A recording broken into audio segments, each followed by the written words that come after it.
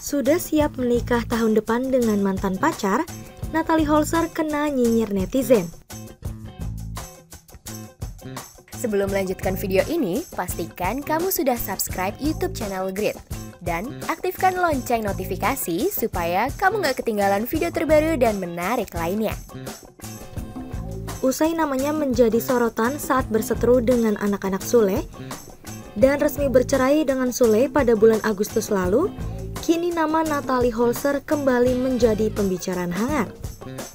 Mantap bercerai dengan Sule, Natalie Holzer mengaku siap untuk move on dan menjalani hidupnya nih Sobat Grid. Move on, jalan ke depan, lihat ke depan sekarang, kata Natalie Holzer. Ibu satu anak itu pun menyebut bahwa dirinya tidak ingin terlalu berlarut dalam kesedihan dan siap menyambut kebahagiaannya tersebut. Udah nggak mau lagi ada kesedihan. Rencana ke depan menuju kebahagiaan. Sambung Natali. Usai bercerai dengan Sule, Natali justru sudah beberapa kali diisukan dekat dengan laki-laki nih Sobat Grid. Bahkan, Natalie Holzer kini jatuh ke dalam pelukan sang mantan kekasih, yaitu Faris nih. Keduanya tampak sering jalan bersama, sekaligus mengajak Baby Azam untuk bermain dengan calon ayah sambungnya tersebut. Hubungan keduanya pun sudah mendapatkan restu dari keluarga Natalie Holzer nih Sobat Grid. Dilansir dari akun Instagram @lambenyinyir underscore official, pada Senin 21 November 2022, Faris mengungkapkan niatannya untuk segera menikahi Natalie.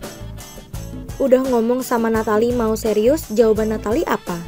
Tanya Eko Patrio. Ya udah, katanya. Ucap Faris. Faris kemudian mengungkapkan bahwa Natalie ngebet ingin segera dipinang oleh Faris nih Sobat Grid. Faris mengungkapkan bahwa keduanya akan menikah tahun depan. Jangan lama-lama tapi, kata dia, ujar Faris. Mendengar rencana pernikahan keduanya, netizen pun auto nyinyir dengan tindakan Natalie Holzer nih Sobat Grid.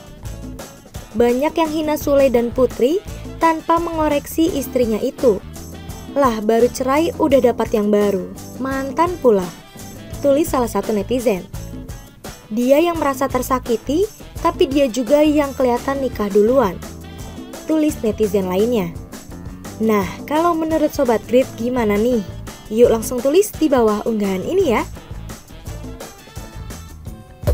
Terima kasih sudah menonton video ini. Jangan lupa subscribe dan aktifkan lonceng notifikasi supaya kamu nggak ketinggalan video terbaru dari Grid.